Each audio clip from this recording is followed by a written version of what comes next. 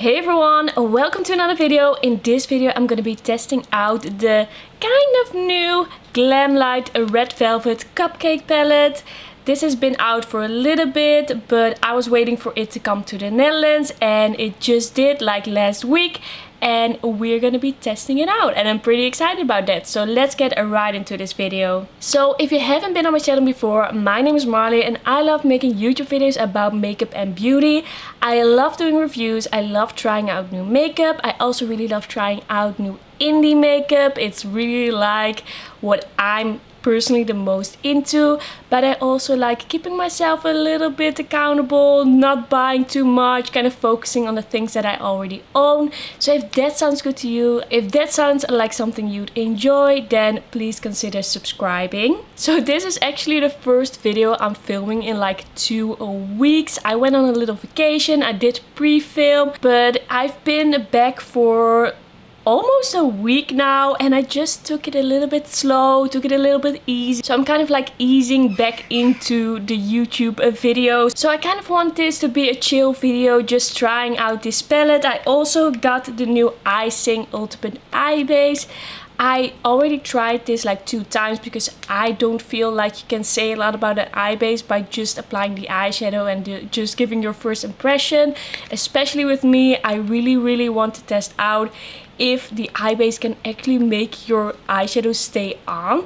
So I already have some thoughts about that. We'll talk about that later, but we'll also apply that in this video. So let me tell you a little bit about this palette first and show you some swatches. So we have the Red Velvet Cupcake palette and this is the box it comes in.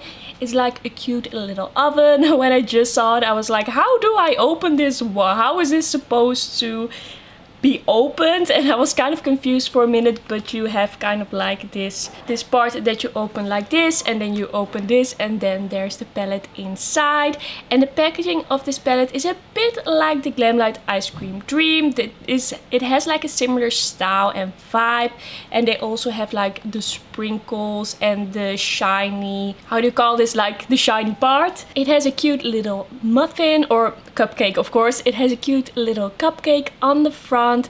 And this palette actually isn't that big. It's quite compact. It definitely isn't as big as the Glamlite Ice Cream Dream. And yes, we have the sprinkles that could move but don't really move a lot and I just think this looks really cute and I just really like how compact and small this is. It's nice to have a little bit more of a small palette from this brand.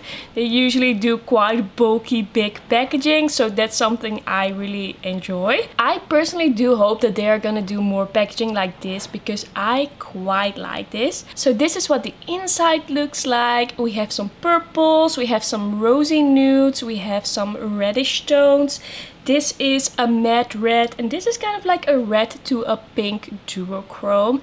I think the shades look much more beautiful in real life than they do on pictures. When I first opened this palette, I was like really impressed. I really liked how it looked and I really liked just the layout and the colors. I think there are just some really pretty colors in here and you can do some more colorful looks but you can go a little bit more soft as well.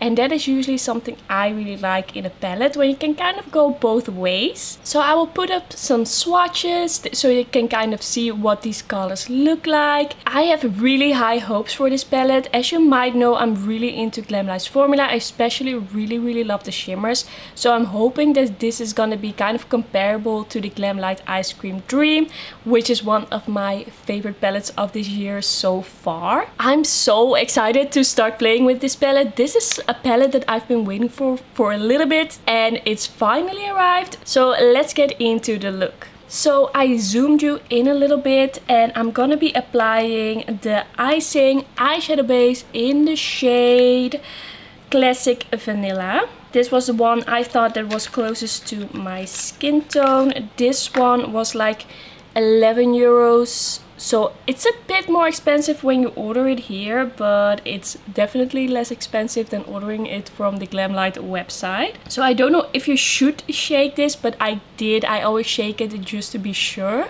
So that's what I'm gonna do, shake it a little bit. So I already wore this eye primer twice and the first time I wore it, my eyeshadow stayed on perfectly for the whole day It looked really good. I didn't have any problems with creasing. I put it on in the morning, put some eyeshadow on and then I checked in on my Instagram stories to keep you guys to keep you guys posted. But then the second day that I wore it, I actually was outside a lot. It was pretty hot. I applied it pretty early in the morning and I went to this butterfly garden and it was pretty warm there because there was this exotic butterfly garden with exotic butterflies but in there it was kind of like how do you call it like a greenhouse like a greenhouse. It was pretty hot in there and uh, my face was sweating and after we left the butterfly garden my eyeshadow was like gone. It had completely creased and so this eyeshadow primer seems to work in some circumstances but in some it doesn't. So in the most extreme like heat it doesn't really work. So I'm hoping it's gonna stay on today. Like my eyeshadow is gonna stay on today. I think it will because I'm gonna be home a lot. But I really have to test it out a little bit more to really tell you if this works. Keep in mind that I have really really oily eyelids and if I don't wear an eye primer, my eyeshadow will be like completely creased in like an hour. And if I just wear like an average eye primer it will be like two hours maybe. So I have really really difficult eyes. So if you don't have such greasy oily eyelids then this probably will work for you. But this is like my eyelids are the ultimate test because they are so oily. So I completely forgot to actually wash my brushes. So we're just gonna work with what we have. Let's see what I can do. I can go a little bit more purple, I think, or I can go a little bit more red. Or maybe I can do a little bit of both, like maybe a little bit of purple in the outer part and then a little bit of a red in the inner part. Yeah, maybe I'm gonna try that. I think I'm just gonna start with some purple in my outer crease. I'm gonna take this shade. This one is called Confection and I'm just gonna apply that in my crease. I do like how eyeshadows like grab on top of this primer. I do feel like it's easy to blend your eyeshadows on top and I'm already blending this eyeshadow too far in. I really like these types of muted purples. They are really my thing. Alright, that blended really easily. That was almost no work. Let's do the same on the other eye. That's a really pretty shade. I really like that. So this is what the shade Confection looks like. I really like it so far. Now I think I'm first gonna go into the shade called Super Moist, which is a very interesting shade name. I think this could be the one shade that's a little bit difficult to work with, so let's see how this builds on top of that other purple. I think this is going quite well. I do feel like you have to build it up a little bit to get it to like full intensity, but it looks really good once you do. And that also means it's easier to blend because you can build it up and it's not like extremely pigmented right away. That's a really nice shade of purple. I think I just want to go over the edges a little bit with a brush without any pigment on it. Just blending this edge a little bit. Just going over it to diffuse. I think that's a nice purple. I think that's looking good. So now I think I want to go and put some things, some eyeshadow on the inner part of my crease. Let me first see if I have a brush for that. Alright, for this part I want to go into the shade Buttery first and then I'm gonna go into the shade called Red Velvet and put that in the inner part of my crease. Buttery looks a bit like a rosy shade. That's nice. That's a nice shade. I usually don't really bring in my crease shades this far, but let's try something new. Let's do something a little bit different. So that's the shade called a buttery. Now I'm gonna go into the shade called red velvet and let's see how bright this is gonna be. I thought this would be a little bit more of a warm red, but I think it definitely has some cool undertone, maybe a little bit pinky. That's that's pretty pigmented. That's pretty impactful. So I'm just gonna go over with a brush without any pigment on it, just blending everything together a little bit. I feel like that works best if you have really pigmented shades. This is sometimes the easiest way, easiest way to kind of diffuse the edges. Now for the next part I want to go into the shade called Dazzling over here. And this looks like a really nice purple shimmer. It feels really creamy in the pan. And I'm just gonna put that on the outer corner. That's so nice. That's so pretty. I love that. Okay, so this shimmer is gorgeous. I just really, really love the Glamlite Shimmer formula. It's just so nice kind of like a cream but it's it does stay on my lids very well. At least at least I hope that's gonna be the case today because I did put on the Glamlite eye primer and not the primer that I usually use. For the inner part I'm gonna go into the shade called Decadent and this is a bit of a pink to red duochrome. So I'm just gonna take that a little bit on my finger and put that over here. Wow. That's really nice as well. Really beautiful and impactful. Kind of blending those together. This turned into quite a colorful look. I also can't wait to do a little bit more of a soft neutrally look with this palette but i thought for the first impression video i'd go for the colors. So that pinky shimmer is really really nice. I really like it this is what I expected and hoped to get. Now for the lower lash line, let me see. I think I'm first gonna go into the shade called Cupcake Heaven. This is a bit of a pinky, rosy, but more on the cool toned side matte. This looks a bit brighter on the eye than I expected, but I don't mind that. I really like this shade for the lower lash line. I think it works very well with the purple in the outer corner. And this look, this look is turning out to be quite colorful. It's a lot.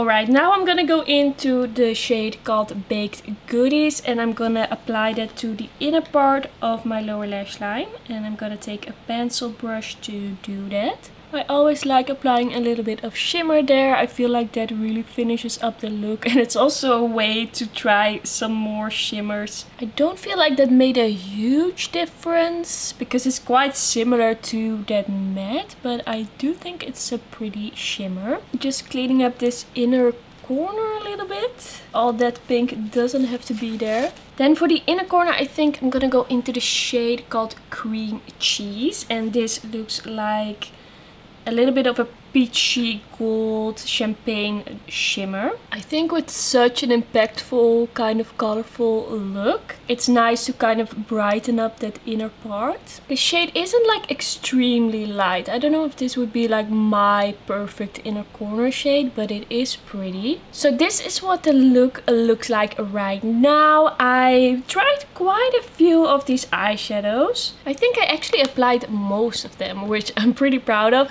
So I think I'm just gonna apply a little bit of liner, apply the rest of my makeup, and then I'm gonna come back and give you my first impression thoughts. So this is the finished look. it's a lot for me. It's a lot more impactful than I usually do. I have to kind of get used to it, but I also kind of like it. It's a bit different, but in a good way, I think. So let's get into my thoughts about this palette.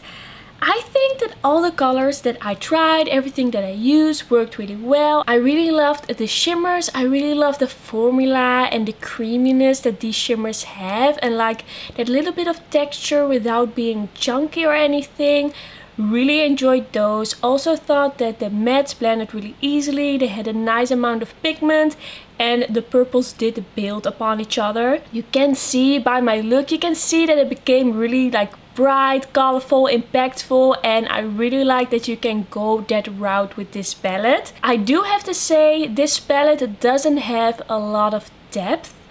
I mean the purple goes goes quite deep, but you don't have like that extra step that one shade that's a bit darker that can really take you there that can really add that depth and smokiness. So I kind of played around with an eyeliner. I took the Nabla Cupid's Arrow eyeliner in the shade. This is the one in number 7 I took that one and kind of played around with that to create that depth. But this palette on its own doesn't have that. And I feel like if uh, this one, this shimmer would have been like a really dark chocolate brown with a little bit of a purple undertone, then you would have like a really really versatile palette. Now it just lacks that a little bit but I feel in general that this is a really pretty color story and that you can do a lot with it. I just think these colors are really pretty. I can't wait to do more looks with this. I really really like this palette and I usually don't do really really dark looks a lot. So for me I'm not really missing that but I did want to mention that. Also, I heard some people say that it's not really red and that's what you would expect with a palette that's called Red Velvet Cupcake.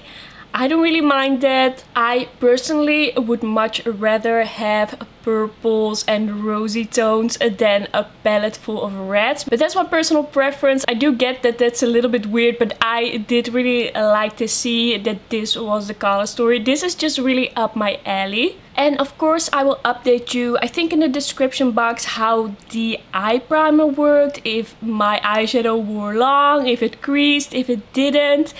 I just really have to try this out and see so I will update you on that. I do like the application, I do like how it feels, I do like how the eyeshadow blends on top but for me, the most important thing is that my eyeshadow stays on. So I'm gonna update you on that. So that was everything for today's video. I hope you enjoyed it. Thank you so much for watching. Let me know in the comments what you thought about this palette. Did you pick it up? Are you planning to pick it up or not? Don't forget to like this video if you liked it and don't forget to subscribe. And then I'll see you in my next video. Bye bye!